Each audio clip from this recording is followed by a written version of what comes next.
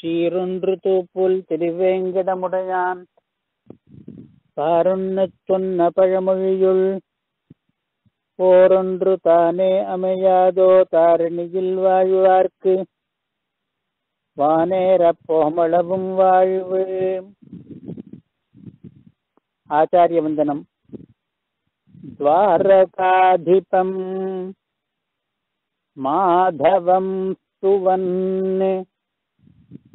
वीरराघवाचार्यमाश्रये पारदर्शिनं शास्त्रवारिधेः पारवेदिनं पूर्वसूक्तिषु இதனுடைய அர்த்தம் இன்றைக்கு துவாரகாநாதனை ஸ்தோத்திரம் பண்ண போகிறேன் அதற்காக மதுராந்தகம் திருமலை ஈச்சம்பாடி வீரராகவாச்சாரிய சுவாமியை ஆசிரியிக்கிறேன். அவர் சாஸ்திர சமுத்திரத்தினுடைய கரையை கண்டவர். அவர் பூர்வர்களின் சூக்திகளின் சாரம் அறிந்தவர். அவரை சேவித்துவிட்டு உபன்யாசத்தை ஆரம்பிக்கிறேன். இந்த ஸ்லோகத்திலே துவார வீர பார சார என்று பாதங்கள் ஆரம்பிப்பதாலே எதுகை என்கிற பாதானுப்பிராசம். அது அந்த சுவாமியை உகப்பிக்கும்.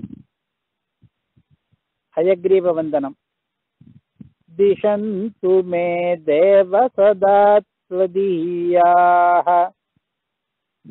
दयातरङ्गानुचराः कटाक्षाः श्रोत्रेषु पुंसाममृतं क्षरन्तीम् सरस्वतीं संश्रितकामधेनुम् இதனுடைய தமிழ் படித்தல் அயமாய் முகத்தார் அயக்ரீவர் தயையால் அமுத மயமாய் பேச்சை பயப்பார் விழியால் இன்றைய உபன்யாச தலைப்பு துவரை மன்னனுமாய் என்பது துவரை என்றால் துவாரகை சுவரை மன்னன் என்றால் துவாரகாநாதன் கிருஷ்ணன் முதலிலே துவரை என்கிற பதம் எப்படி வந்தது என்பதை பார்ப்போம் துவாரகை என்பதை தமிழிலே சொல்லும் பொழுது துவரை என்றும் துவராபதி என்றும் சொல்லுகிறார்கள் வடமொழியிலே துவாரகை என்றும் துவாரவதி என்றும் சொல்கிறார்கள். துவாரகா என்பது துவரை என்று எப்படி ஆகும்? என்றால் சம்ஸ்கிருத பதங்கள் எல்லாம் தத்பவ தத்சம என்கிற இரண்டு ரீதியிலே தமிழிலே வரும் பொழுது எந்தெந்த மாதிரியான மாறுதல்கள் ஏற்படும் என்பதற்கெல்லாம் கூட இலக்கணம் சொல்லி வைத்திருக்கிறார்கள். அதன்படி துவா என்பது தூவ என்று ஆகும். உதாரணமாக துவாரம் என்பது தமிழிலே துவாரம் என்று ஆகிறது. த்விதீயை என்பது தமிழிலே துவி தீயை என்று ஆகிறது. துவேஷம் என்பது தமிழிலே துவேஷம் என்றாகிறது. அதே ரீதியிலே துவாரகை என்பது துவாரகை என்று ஆகும். ஆனால் அது எப்படி துவரை என்று ஆகும்?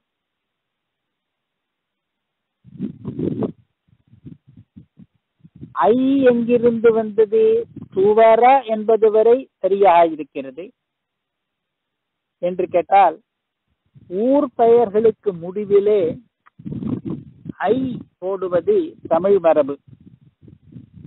இன்றைக்கும் நெல்லை கோவை என்றெல்லாம் வழங்குவது போல பண்டை நாளிலும் அழிந்தை அழுந்தை மல்லை இடந்தை என்றெல்லாம் திவ்ய தேசங்களுக்கு பெயர் வந்திருக்கிறது. அதுபோல வந்த பதம் துவரை என்பது. துவாரகா என்ற இடத்தில் இருக்கிற க என்ன ஆயிற்று? காணுமே துவரை என்பதிலே என்று கேட்டால் மற்ற ஊர் பெயர்களிலும் அப்படித்தான். திருநெல்வேலி என்கிறதை நெல்லை என்கிறோம். கோயம்புத்தூர் என்கிறதை கோவை என்கிறோம்.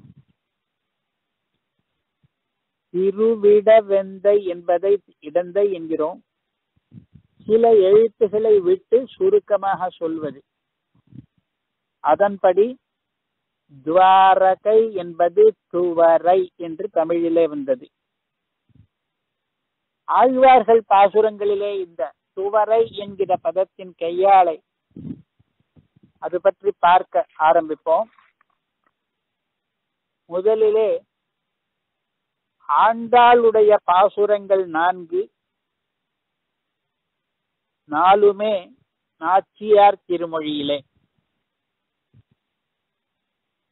முதல் பாசுரம் அவரை பிராயம் தொடங்கி எங்கும் ஆதரித்தெழுந்தவன் தடமுலைகள்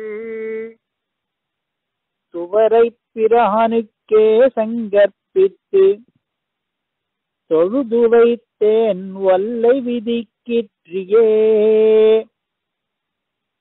என்பது இதிலே அவரை பிராயம் என்றும் துவரை பிரான் என்றும் இரண்டு பதங்கள் இருக்கின்றன.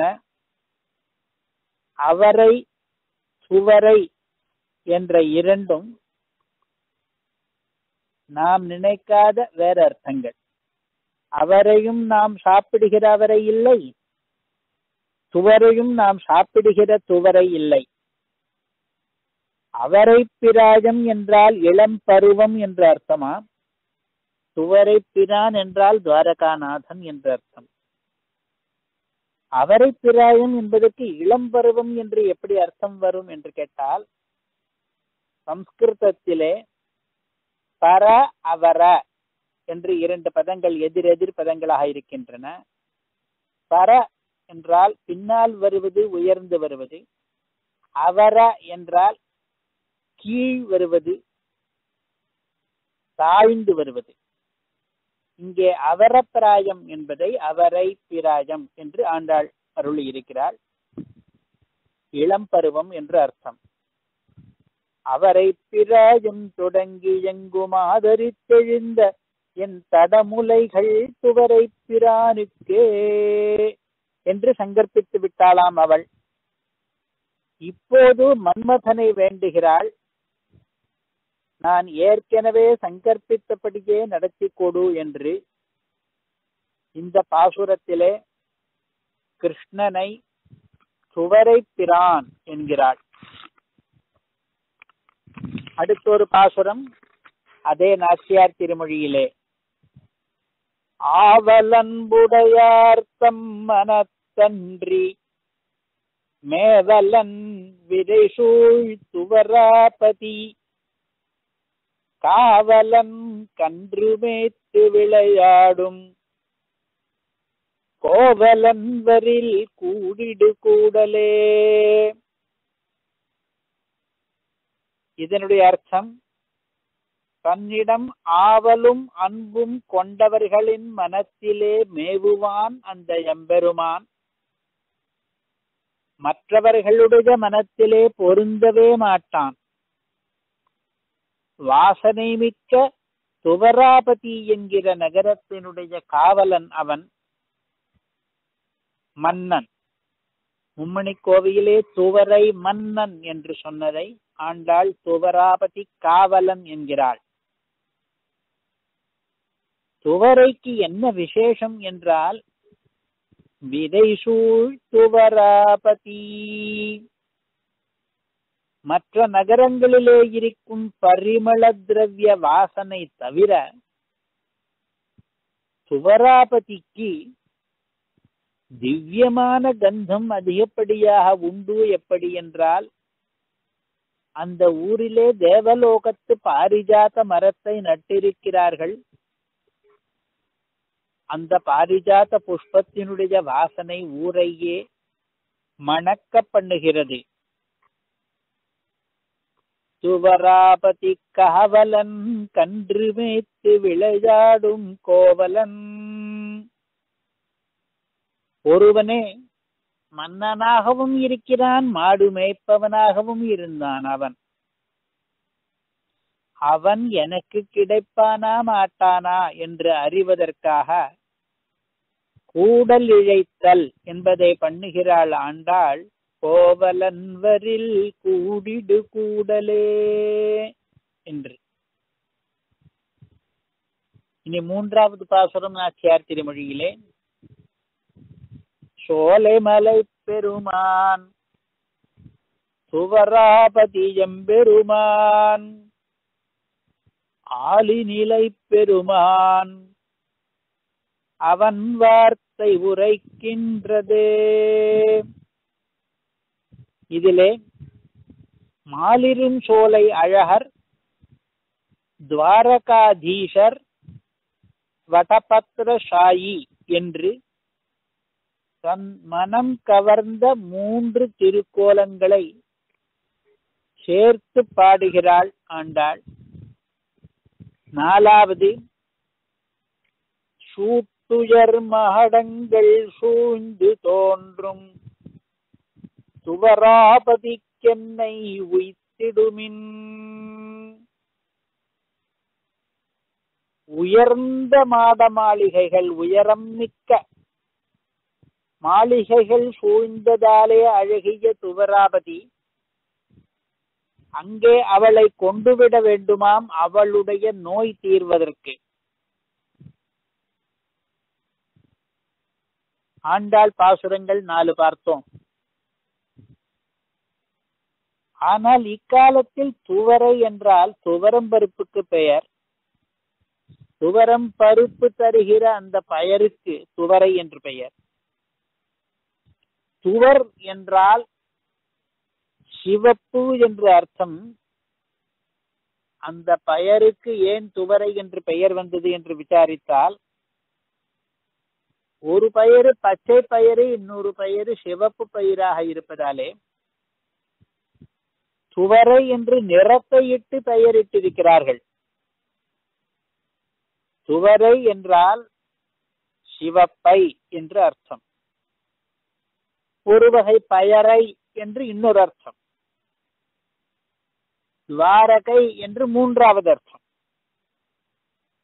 இது போதாதா தமிழ் கவிகள் வேடிக்கை பண்ணுவதற்கு? ஒரு ஒரு வேடிக்கையை மட்டும் பார்த்துவிட்டு மனசினாலும் வாக்கினாலும் துவாரகைக்கு போய்விடப் போகிறோம் இன்றைக்கு. திருவரங்க தந்தாதியிலே ஒரு பாடல் வரும் துவரைப்பட்ட மங்கையர் எண்மர்மனம் களைக்க. வரும் துவரைப்பட்டவாய் அரங்கேஷனை என்று ஆரம்பிக்கிறது. துவரைப்பட்ட என்கிறது இரண்டு தடவை வந்திருக்கிறது. இதிலே துவரை என்பதற்கும் இரண்டு அர்த்தங்கள். பட்ட என்பதற்கும் இரண்டு அர்த்தங்கள். துவரை என்கிற நகரிலே பட்ட மகிழ்ச்சிகள் எட்டு பேர் கிருஷ்ணருக்கு. துவரை பட்டமங்கையர் எண்மர் களைக்க என்கிறாரே கழிக்க என்று இருக்க வேண்டுமோ?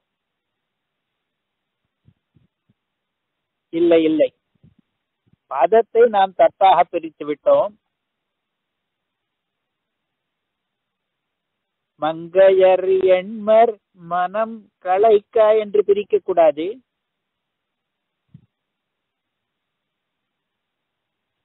வரும் என்பதையும் சேர்த்து மனங்களை கவரும் என்று பதம் பிரிக்க வேண்டும். தம்முடைய மனைவியரது மனங்களை கவர்கிறான் கிருஷ்ணன். அவனுக்கு துவரைப்பட்ட வாய் அதாவது செம்மை பொருந்திய வாய். இதில் வேடிக்கை என்னவென்றால் துவரைப்பட்ட மங்கையர் துவரைப்பட்ட வாய். அர்த்தம்தான் வெவ்வேறு. துவரைப்பட்ட மங்கையர் என்றால் துவாரகாவிலே பட்ட மகிழ்ச்சிகள். துவரைப்பட்ட வாய் என்றால் சிவந்த உதடு கொண்ட வாய். இப்படி துவரை என்பதன் சிலேடையிலே விளையாடி இருக்கிறார்கள் தமிழ் கவிஞர்கள். சொல் வேடிக்கை போதும். துவாரகாபுரி என்ற ஒரு அர்த்தத்தை மட்டும் எடுத்துக்கொள்வோம். அதை பற்றி பார்ப்போம். வண்துவரை நகருவாய வசுதேவர்காய் என்றும் நகரி துவரை என உகந்து இதனை தரித்தனை என்றும் தேசிக பிரபந்தத்திலே சுவரை மூணு நாலு இடங்களில் வாழ என்று ஒன்று உகக்க என்று ஒன்று. துவரையிலே. துவரை மன்னன் என்றால் ஒரே ஒருவன் தான். அது கிருஷ்ணன். இதற்கு முன்னே ராமனை சொல்லும் பொழுது அயோத்தி மன்னன் என்று சொல்லி இருக்கலாம் சொல்லவில்லை. வேறு யாருக்குமே எந்த அவதாரத்தை வர்ணிக்கும் போதுமே அவர்களுடைய ராஜதானியை சொல்லி வர்ணிக்கவில்லை.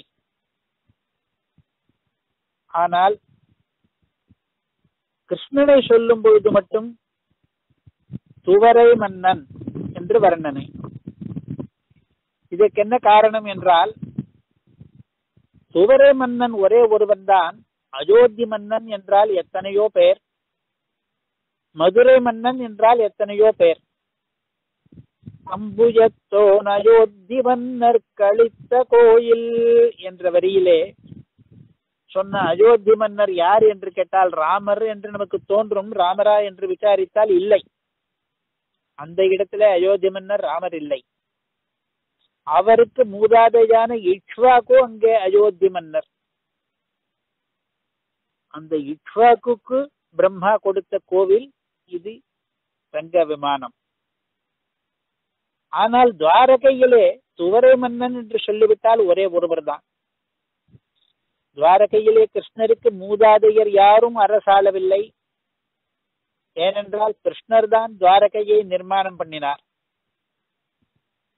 கிருஷ்ணனுக்கு பிற்பட்டோர் எவரும் அரசாளவில்லை. ஏனென்றால் நகரத்தை கடல் கொண்டு விட்டது. இவ்வாறு துவரை மன்னன் என்பது கிருஷ்ணர் மட்டுமே என்பது இன்றைய அடுத்த விஷயம். இதுவரையில் துவரை என்ற பதம் வந்த விதம் துவரை என்ற பதத்திலே ஸ்லேடை வேடிக்கை சுவரை என்ற ஊர் பற்றி ஆண்டாளுடைய கையாளல்கள் சுவரை மன்னன் என்பவன் ஒரே ஒருவன்தான் என்ற விஷயம். என்று இதுவரை நாலு பார்த்தாச்சு. ஐந்தாவதாக துவரையிலே மற்ற இடங்களிலே இல்லாத சிறப்புகள் எவை என்று பார்ப்போம். முதலிலே ஸ்ரீமத் பாகவதத்திலிருந்து துவாரகா வர்ணனம் துர்கம் துபத துர்கமம் दुर्गम् द्वादशयोजनम् என்ற இரண்டு வரிகளிலும் துர்க்கம் என்கிற பதம் கோட்டை என்ற அர்த்தம் துக்கேன கந்தும் சக்கியம் என்ற விற்பத்தியினாலே எளிதாக போக முடியாத இடம் என்று அர்த்தம் துவாரகாவர்ணனம் ஸ்ரீமத் பாகவதத்திலே மேலும் अन्तः समुद्रे नगरम्। कृत्स्नाद्भुतमचीकरति। दृश्यते यत्र हि त्वहष्ट्रम् विज्ञानम् शिल्पनैपुणम्। रक्षातत्वरवीथीभिः यथा वास्तु विनिर्मितम्। सुरद्रुमलतोद्यान चित्रोपवन अन्वितम्।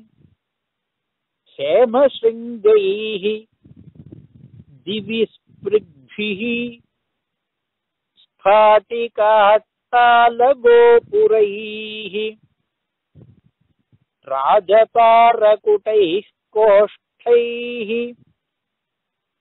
हेमकुम्भैरलङ्कृतैः रत्नकूटैर्गृहैर्हेमैः महामरकतस्थलैः वास्तोष्पतीनां च गृहैः वलभीभिश्च निर्मितम्। चातुर्वर्ण्यजनाकीर्णम्। यद् देवगृहोल्लसति सुधर्मां पारिजातं च। महेन्द्रः प्राहिणोत् हरेः। यत् यत्र चावस्थितो मर्त्यः मर्त्यधर्मैर्न युज्यते तत्र योगप्रभावेण नीत्वा சர்வஜனம் ஹரிஹி என்று ஜாரகாவர்ணனம் ஸ்ரீமத் பாகவதத்திலே இதற்கு ஸ்ரீதரியம் வீரராகவியம் என்று இரண்டு பிரசித்த வாக்கியானங்கள் அதிலே பிற்பட்டது நம்முடைய சம்பிரதாயத்தை தழுவி எழுதப்பட்டது வீரராகவியம் என்பது. அதன்படி துவாரகையிலே என்ன விசேஷங்கள் என்று கேட்டார் ஒன்பது விசேஷங்களை சொல்கிறார் ஸ்ரீமத் பாகவதத்திலே. இங்கே துவரை மன்னனுமா என்று மும்மணி கோவையிலே சொன்ன இடத்திலே அந்த துவரை என்கிற நகரியிலே இருக்கிற ஒன்பது விசேஷங்களை நினைத்து பார்க்க வேண்டும். இப்படி ஒன்பது சிறப்பங்கள் கொண்ட துவாரகைக்கு நாதனாயிருந்தவன் அவன் என்று. எளிதிலே உள்ளே நுழைய முடியாத கோட்டை என்பது ஒன்று. ஏனென்றால் அது சமுத்திரத்து நடுவிலே இருந்தது. கோட்டை மட்டுமே பன்னிரண்டு யோசனை நீண்டிருந்தது என்பதாலே பெரிய நகரம் என்பது இரண்டாவது. பார்ப்பவர்கள் எல்லாருக்கும் ஆச்சரியம் ஏற்படும்படி செயற்கையாக அமைக்கப்பட்டது என்பது மூன்றாவது விசேஷம். துவஷ்டா என்றும் விஸ்வகர்மா என்றும் பெயர் கொண்டவர் தேவசில்பி அவர் நிர்மித்திருக்கிறார் துவாரகையை என்று நிர்மாத்திரு வைலக்ஷண்யம் என்பதும் விசேஷம் அது நாலாவது. அவர் தன்னுடைய திறமையை நிறைய பேருக்கு விளம்பரப்படுத்தலாம்படி இந்த துவாரகா நகரத்தை முனைப்புடன் கவனத்துடன் நிர்மித்திருப்பதாலே இது அற்புதமாக அமைந்திருக்கிறது. இதிலே ராஜ மார்க்கங்கள் கிளை சாலைகள் நார்ச்சந்திகள் மைதானங்கள் மாளிகைகள் தங்க பவனங்கள் படிகத்தாலான பலமாடி கட்டிடங்கள் அவற்றின் மேலே தங்க கலசங்கள் என்று செல்வ செழிப்பு வெளிப்படும்படியாக திட்டமிட்டு நிர்மிக்கப்பட்டது என்று ஐந்தாவது விசேஷம். வாஸ்து சாஸ்திரப்படி அதன் விதிகளை மீறாமல் கட்டப்பட்டது என்பது ஆறாவது விசேஷம். அதன் செயற்கையான தோட்டங்களுக்கு தேவலோகத்து மரங்களும் கொடிகளும் வரவழைக்கப்பட்டன என்பது ஏழாவது விசேஷம்.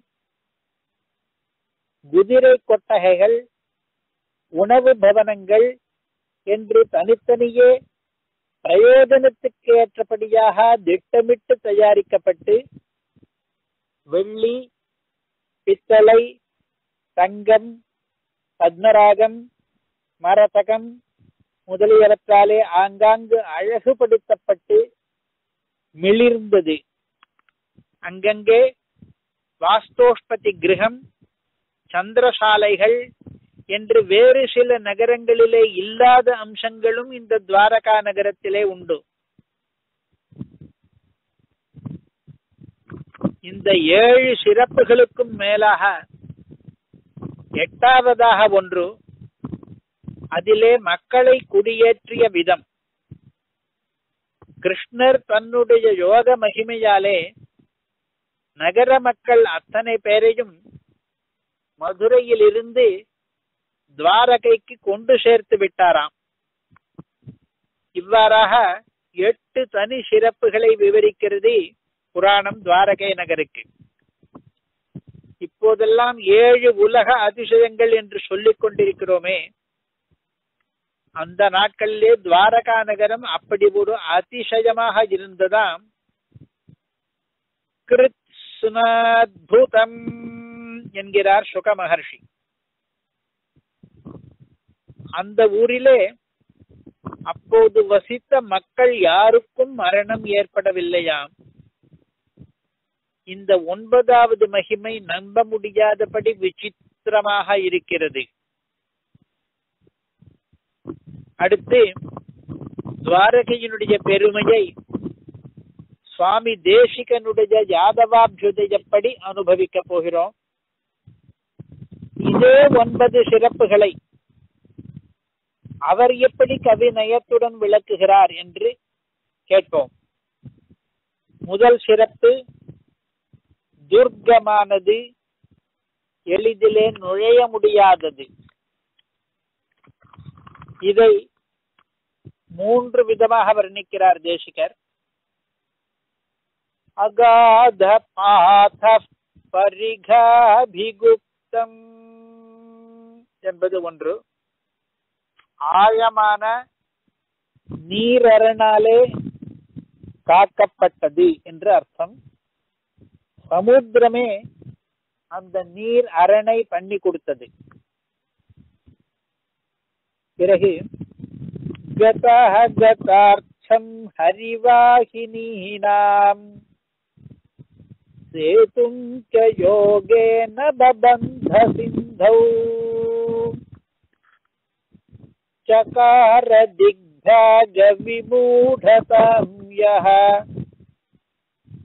प्रत्यर्थिनां चक्रधर பிரபாவாத் இதனுடைய அர்த்தம் அந்த நகரம் சமுத்திரத்து நடுவிலே இருந்தபடியாலே நிலத்திலிருந்து அதற்குள் நுழைவதற்கு ஒரு பாலமும் கட்டினார் விஸ்வகர்மா தன்னுடைய யோக சக்தியினாலே அந்த பாலத்திலே ஒரு விசித்திரத்தை ஏற்படுத்தினார் சக்கரபாணி. தன்னை சேர்ந்த ஜனங்களுக்கு அது நேர்பாலமாக இருந்த போதிலும் எதிரிகள் அதிலே வந்தால் அந்த பாலம் திசை மறுச்சியை ஏற்படுத்துமாம். திசை மறுச்சி என்றால் திசை பூண்டு என்று ஒரு செடியை காலால் தெரியாமல் மிதித்து விட்டோமானால் நாம் திசை தப்பி நடக்க ஆரம்பித்து விடுவோம் என்பதை சொந்த அனுபவத்திலேயே அடியேன் பார்த்திருக்கிறேன். அதுபோல இந்த பாலத்தை துவாரகைக்கு போகிற பாலத்தை தப்பான பகை உணர்வோடு யாராவது மிதித்தால் அவர்கள் துவாரகைக்குள் நுழையாமல் வேறெங்கோ போய்க் கொண்டிருப்பார்களாம். தமிழிலே திசை என்பது இரட்டை அர்த்த பதம் கிழக்கு மேற்கு என்பவை திசைகள் என்று ஒரு அர்த்தம். அவன் திசைத்து போனான் என்றால் திகைத்து மயங்கி போனான் என்று அர்த்தம். இந்த ஸ்லேடையில் கூட ஆழ்வார்கள் வேடிக்கை பண்ணினது உண்டு ஆனால் இன்று பார்க்க வேண்டாம். இந்த துவாரகா பாலத்திலே எதிரி நுழைந்தால் திசை தெரியாமல் திசைத்து போவானாம். அவ்வளவு துர்கமமான நகரம். த்விபத துர்கமம் என்று சுருக்கமாக பாகவத புராணம் சொன்னதை யாதவாபியுதயம் இப்படி விளக்குகிறது. துர்க்கம் என்பதை மூன்றாவது விதமாகவும் யாதவாபியுதயம் விளக்குகிறது. துராக்கிரமம் துர்கமியேஷ கர்த்தும் ஆக்கிரமிப்பதற்கு கஷ்டமான கோட்டையை கட்ட விரும்பினார் கிருஷ்ணர்.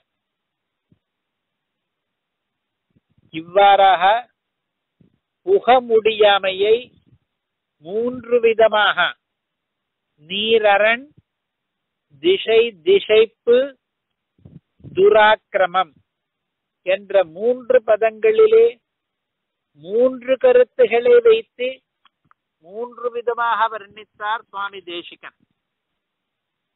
அடுத்து இரண்டாவது மகிமை அளவாலே பெரியது என்பது. இதையும் பலவிதமாக சுவாமி தேசிகன் வர்ணிப்பார்.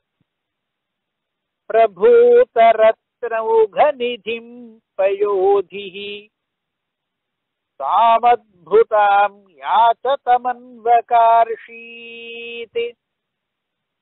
கடலும் நகரமும் ஒன்றை ஒன்று ஒத்திருந்தனவாம்.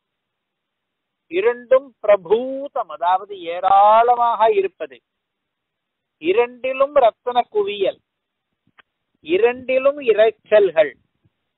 கடல் போல நகரமும் நகர் போல கடலும் இருந்தனவாம் இன்னொரு விதமாக சொன்னால் விவித்சதோ விஷ்ணிபுரீம் விஷாலாம் என்று அதை விஷாலமான பட்டணம் என்று சொல்லும் பொழுது மோன நயத்துடன் விவித்சதோ புரியும் விஷாலாம் என்று வி விரு வி என்ற பதங்களை வைத்து எழுத்துக்களை வைத்து சொல்லியிருக்கிறார். அடுத்து துவாரகையினுடைய மூன்றாவது மகிமை அற்புதமானது என்பது. அனன்ய திருஷ்டிம் நகரி நவீனா விஸ்மேரதாம் விஸ்வபதிம் நினாய சாமத்புதாம் தாரகிதார்திரசௌதாம் அந்த துவாரகையை முதன் முதலாக பார்க்கும்போது கிருஷ்ணர் வைத்த கண் வாங்காமல் பார்த்தாராம். அனன்ய திருஷ்டிம் ஏனப்படி என்றால் அந்த புது பட்டணம் விஸ்மேரனாக அவனை ஆக்கிற்று. விஸ்மேரன் என்றால் ஆச்சரியப்பட்டவன் என்ற அர்த்தம். அந்த நகரம் கிருஷ்ணனை ஆச்சரியத்திலே ஆழ்த்தியது. அப்படி ஒரு நகரம் இருக்க முடியும் என்பதையே அதை பார்த்தவர்கள் மட்டுமே நம்புவார்கள். ஆச்சரியாணாம் பிரகிருதிரியமிதி அத்புதாவேஷயோக்யாம். ஆச்சரியங்களுக்கு பிறப்பிடம். காண்பவர்களுக்கு அத்புத ரசம் ஆவேசிக்கும்படி யோக்கியமானது இவ்வாறாக மூன்று வாக்கியங்களிலும் ஒரே கருத்தையே அதாவது அது அத்புதமான நகரம் என்பதையே மூன்று தடவையாக சொல்லியிருக்கிறார். மூன்று தடவை சொன்னால் அலுப்பு தட்டாதோ என்று கேட்டால் மூன்று வெவ்வேறு பதங்களை கையாளுகிறார். விஸ்மேரம் அத்புதம் ஆச்சரியம் என்று. மூன்று வெவ்வேறு விதமாக சொல்லி இருக்கிறார் கிருஷ்ணனே வியந்தார் என்று முதல் தடவை. வானொலாவிய மாடங்களாலே அத்புதம் என்று இரண்டாவது தடவை. இங்கிருந்துதான் எல்லா ஆச்சரியங்களும் உற்பத்தி ஆகின்றன என்று மூன்றாவது தடவை வெவ்வேறு விதமாக சொல்லி பலம் சேர்த்திருக்கிறார். அடுத்து நாலாவது மகிமை ஆனானப்பட்ட விஸ்வகர்மாவே கட்டினார் என்பது. நிவேதிதாம் நிர்ஜர சில்பினைவ. ஸ்வயம் சமத்காரவதா சுக்லுப்தாம். தேவலோகத்து சிற்பியான விஸ்வகர்மாவே தன்னுடைய சாமர்த்தியமெல்லாம் வைத்து நிர்மித்தாராம் அதை நன்றாக. பிரச்சோதிதஸ்தத்ர து விஸ்வகர்மா நாத பிரசத்யை நளினாசாத்யை விஸ்வகர்மாவை கட்டும்படி யார் நியமித்தார்கள் என்றால் கிருஷ்ணர் தான் அவர் விஸ்வகர்மாவை கூப்பிட்டு கட்ட சொன்னார் இருந்தாலும் பிரம்மா முதலானவர்களும் ஏவினார்களாம் விஸ்வகர்மாவை. கிருஷ்ணன் அவர்களுக்கும் நாதனானபடியாலே அந்த நாதனுடைய உகப்புக்காக நகரம் கட்டி கொடு என்று ஏவினார்களாம். நல்லதொரு நகரத்தை நாதனுக்கு நிர்மி என்று நளினாசனன் ஏவினான். நாக்க சில்பி நிர்மித்தான். அடுத்த ஐந்தாவது மகிமை. அது செல்வ செழிப்பை பறைசாற்றியது என்பது. स्ववैभवैरप्रतिरूपशोभैः व्यक्तश्रियो वाङ्मनसातिवृत्तैः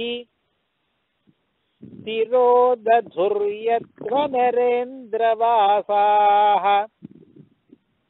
स्वयं प्रभां देवसभां சுதர்மாம் அந்த ஊரிலே இருந்த அரண்மனைகள் இணையற்ற அழகுடைய தன் செல்வங்களாலே வாக்குக்கும் மனசுக்கும் எட்டாத விபவங்களாலே ஸ்பஷ்டமான செழிப்பு உடையவை. சுதர்மா என்கிற தேவ சபையை மறைத்தன அதைவிட அதிக ஒளி பெற்றன. அதனாலே அங்கே இருந்து வசிப்பவர்கள் சுதர்மாவை கூட விரும்பவில்லை. பரார்ஜரத்ன பிரச்சிதாத்மபிரியா பரார்க்கிய விலை உயர்ந்த ரத்னங்களாலே பிரச்சித அதிகமான இப்படிப்பட்ட நகரம். அடுத்து ஆறாவது மகிமை.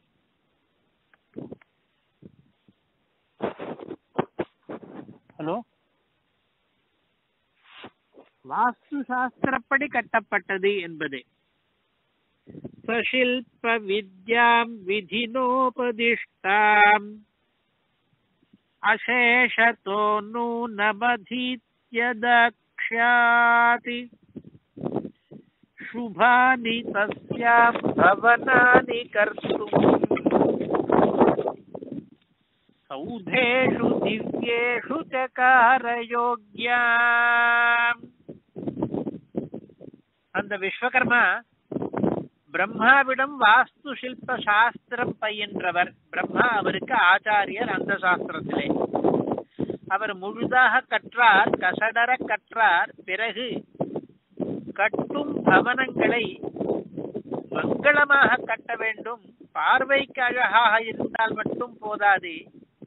பிற்காலத்திலும் மங்களங்கள் ஏற்படும்படி இருக்க வேண்டும் என்று கருதி அதற்காக நிறைய பயிற்சிகளை பண்ணி கொண்டார் யோக்யா என்றால் பயிற்சி. அனுபவம் என்ற பட்டறிவை பெறுவதற்காக முன் வேலைகளாக தேவலோகத்திலே நிறைய மாட மாளிகைகளை கட்டி ஒத்திகை பண்ணிக் கொண்டார். அந்த நிர்மாணங்களுக்கெல்லாம் முடிவாக அவர் துவாரகா நிர்மாணம் பண்ணினார். முன் அனுபவத்தாலே அதிகரித்த திறமை உடையவராய் துவாரகை நகரை அமைத்தார். அதனாலே அங்கே மாட மாளிகைகள் தேவலோகத்து ஹர்மிய பிராசாதங்களை விடவும் அதிகமான அழகும் செழிப்பும் மங்களமும் கொண்டு விளங்கின. விஜினா என்பதற்கு கிரமப்படி என்ற அர்த்தமும் பொருந்தும். பிரம்மாவினாலே என்ற அர்த்தமும் பொருந்தும். முறைப்படி உபதேசம் பெற்று வாஸ்து முறைப்படி நிர்மாணம் பண்ணினார் என்பது ஆறாவது மகிமை. அடுத்து ஏழாவது மகிமை. வானுலக பொருள்களை வரவழைத்துக் கொண்டமை என்பது. இதை யதவாபியுதம் எப்படி விளக்குகிறது என்றால் விபூதி பேதைரனுபப்ளவைர்யா भोगार्थिनाम् भूमिगता विभौमैः अभौमैः निवारयामास तपोधनानाम् वासादम् வாசவராஜதான்யாம் துவாரகை பூமியிலே இருந்தாலும் அந்த ஊரின் செல்வங்கள் பௌமங்கள் கிடையாது அபௌமங்களானவை.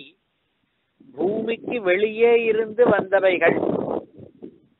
பலவிதங்களாய் கேடில்லாதவையாய் திவ்யங்களாய் இருந்த செல்வங்கள். அந்த நாட்களிலே நிறைய பேர் வானுலகில் மட்டும் கிடைக்கும் போகங்களை விரும்பி தபஸ் பண்ணி ஸ்வர்க்கம் போவது வழக்கம். ஆனால் துவாரகா நிர்மாணத்துக்கு பிறகு அவர்களுக்கு அந்த எண்ணமே மாறிவிட்டதாம். வானுலகம் போக வேண்டிய அவசியம் என்ன? அந்த போகங்கள் எல்லாமே தற்போது துவாரகையில் கிடைப்பவைதானே என்று புரிந்து கொண்டதால் இந்திரலோக ராஜதானியே வேண்டாம் போ என்று புறக்கணிக்கிறார்களாம். நிவாரயாமாச தபோதனானாம் வாசாதரம் வாசவராஜதான்யாம் எட்டாவது ஆச்சரியம் மக்களை குடியேற்றிய விதம்.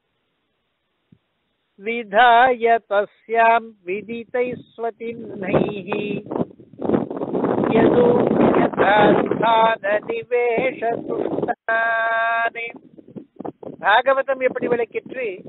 கிருஷ்ணர் சங்கல்பித்தாராம் தன்னுடைய மாயா சக்தியினாலே இங்கே இருக்கிற ஜனங்களை எல்லாம் நிமேஷ மாத்திரத்தினாலேயே அங்கே கொண்டு சேர்த்து விட்டார் என்று. அதில் யாதவர்கள் குடியேறினார்களே அவர்களிலே ஒவ்வொருவருக்கும் தனித்தனி அடையாளங்கள் முன்பிருந்தபடியே அமைத்து கொடுத்து அவர்கள் மகிழும்படியாக குடியேற்றினார் கிருஷ்ணர்.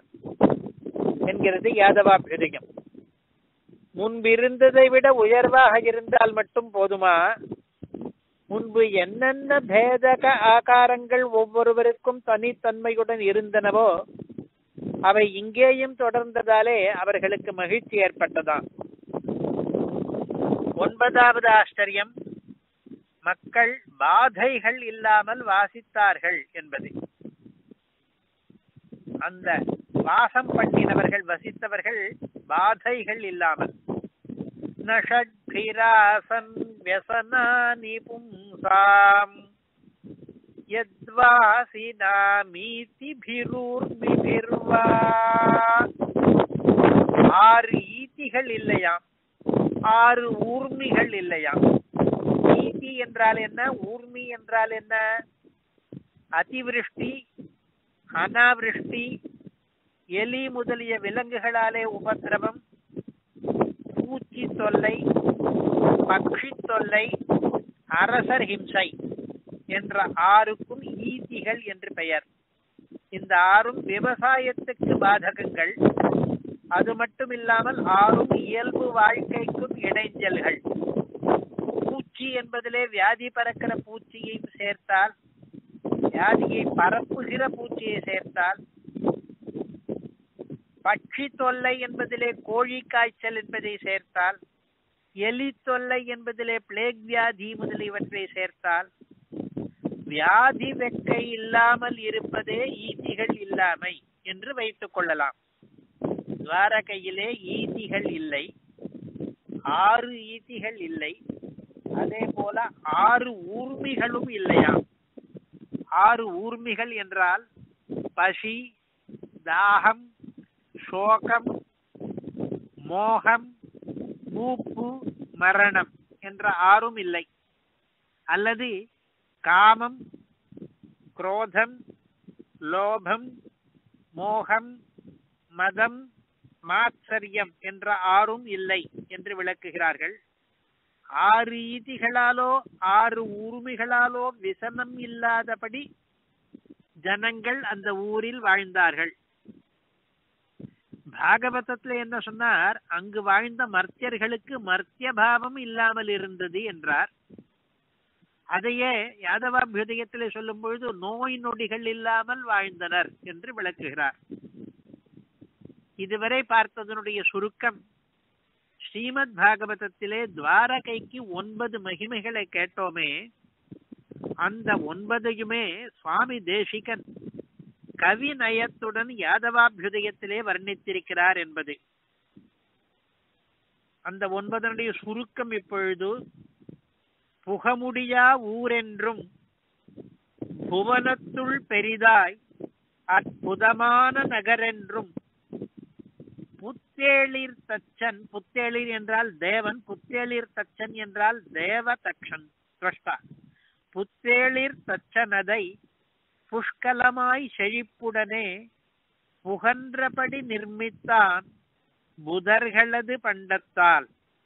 புடைசூழ குடிபுக்கார் புண்ணியராய் வாழ்ந்தார்கள் என்று இந்த ஒன்பது மகிமைகளையும் பூ என்ற எழுத்தாலே புனைந்து நாம் புரிந்து கொள்ளலாம். முதல் புகமுடியா ஊர் என்பது இரண்டாவது புவனத்துள் பெரிதானது மூன்றாவது அற்புதமான நகர் என்பது நாலாவது புத்தேளிர் தச்சன் கட்டினது என்பது இந்த மாதிரி ஒன்பது. அடுத்து என்ன கேட்க போகிறோம் என்றால் இந்த ஒன்பதையும் தவிர மேலும் சில உத்கர்ஷங்களையும் சுவாமி தேசிகன் துவாரகைக்கு வர்ணிக்கிறார் என்பது. பத்தாவது பெருமை அந்த ஊருக்கு வெளியில் வசிக்கிற நம் போன்றவர்களுக்கு அது ஒரு பெரிய புண்ணிய கஷேத்திரமானபடியாலே தீர்த்த யாத்திரைக்கு மிகவும் நல்லது என்பது. முதலில் அது ஏழு முக்தி கஷேத்திரங்களிலே ஒன்று. ஏழு மோட்ச கஷேத்திரங்கள் எவை என்றால் அயோத்தியா மதுரா மாயா காஷி காஞ்சி ஹியவந்திகா புரி துவாரவதி சைவ சப்தைதா முக்திதாயிகாக அயோத்தி மதுரை மாயா எனப்படும் ஹரித்வாரம் காஷி காஞ்சி அவந்தி என்று சொல்லப்படுகிற உஜ்ஜயினி துவாரவதி என்று சொல்லப்படுகிற துவாரகை என்று ஏழு திருத்தலங்களுக்கு முக்தி கஷேத்திரங்கள் என்று பெயர். இது தவிர எத்தனையோ புண்ணிய தீர்த்தங்கள் உண்டு. புண்ணிய தீர்த்தங்களிலே முக்கியமானவை புஷ்கரம் பிரபாசம் பிரயாகம் என்று மூன்று. தற்போது ராஜஸ்தான் குஜராத் உத்தரப்பிரதேச பிராந்தங்களிலே இருப்பவை புஷ்கரம் ராஜஸ்தானத்திலே பிரபாசம் குஜராத்திலே பிரயாகம் உத்தரப்பிரதேசத்திலே. புராணங்களிலே சர்க்கம் சர்க்கமாக வர்ணிக்கப்படுகிற புண்ணிய தீர்த்தங்கள்.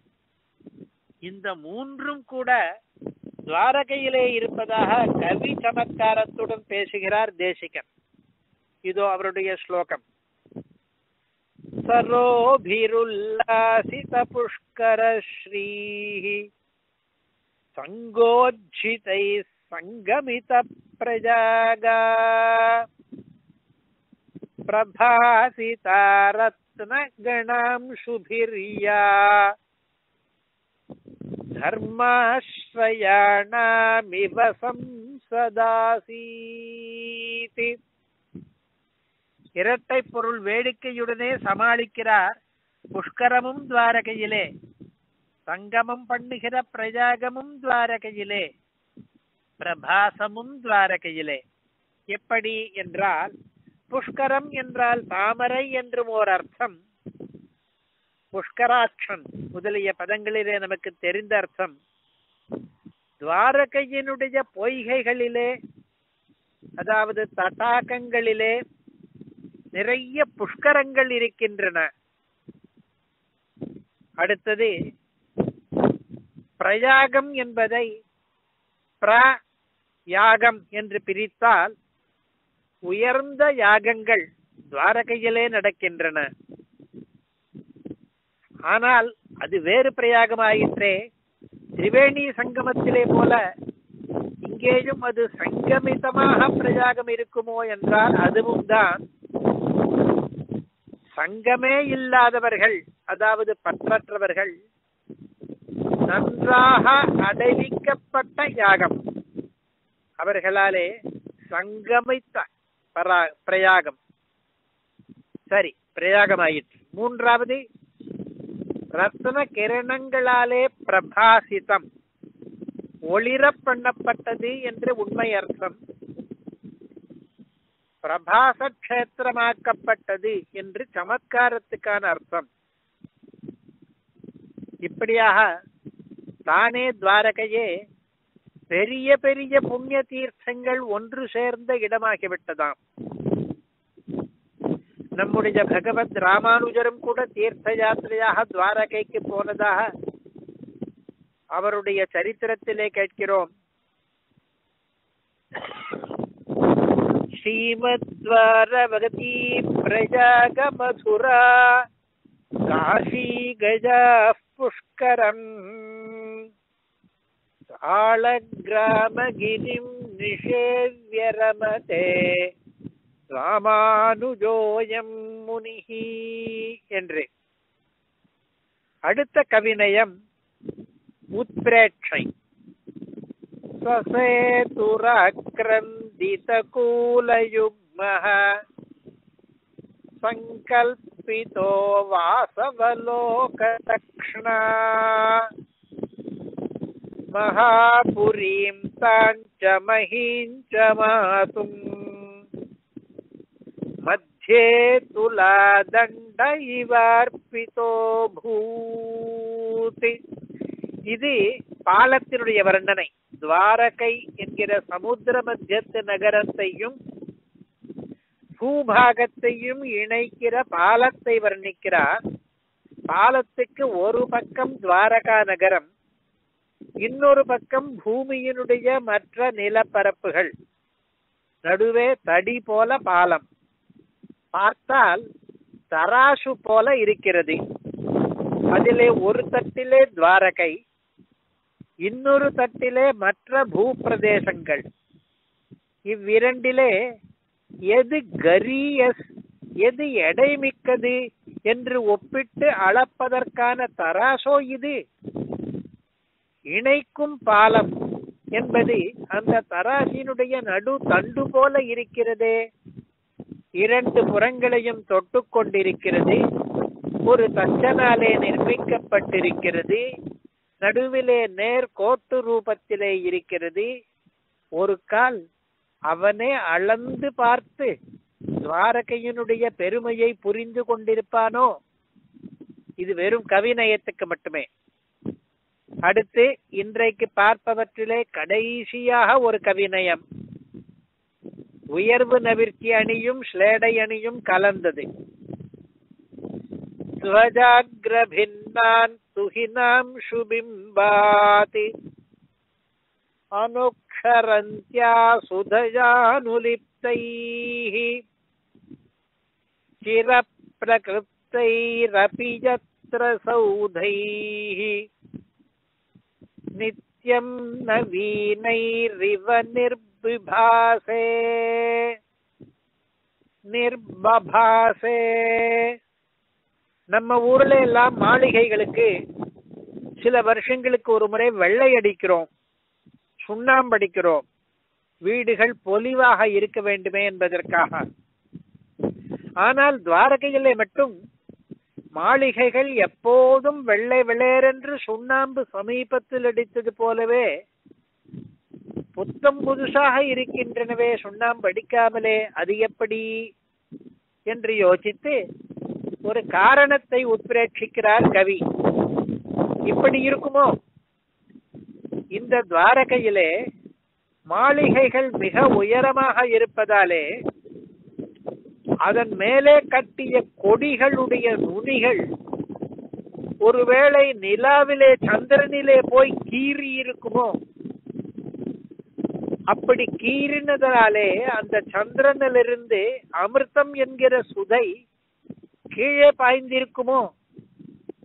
அந்த கொடி கம்பு வழியாக மாளிகை சுவர்களிலே இறங்கி இருக்குமோ அதனாலே சுண்ணாம்படித்தாற் போல ஆச்சோ